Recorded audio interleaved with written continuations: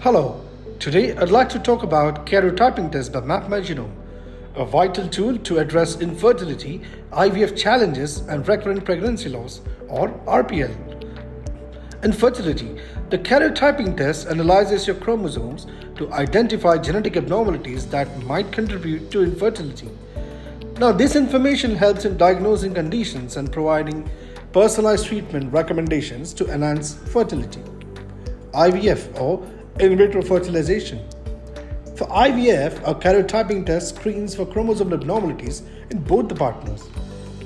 This helps in selecting the healthiest embryos and increases the chance of a successful pregnancy and optimizing your treatment plan.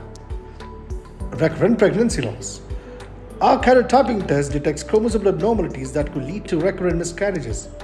And by understanding these genetic factors, we can offer strategies to reduce the risk of future pregnancy loss and improve your chances of a successful pregnancy.